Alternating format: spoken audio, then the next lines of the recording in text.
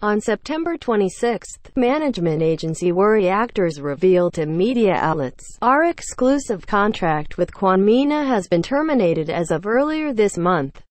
The label continued. Kwon Mina expressed her wishes to focus on regaining peace and after a lengthy discussion, we've decided to respect her wishes. We brought our management duties to an end after Mina's recent birthday celebration. Earlier in the summer of this year, Former AOA member Mina was rushed to the hospital after attempting to take her own life. She is currently recovering while receiving therapy treatment.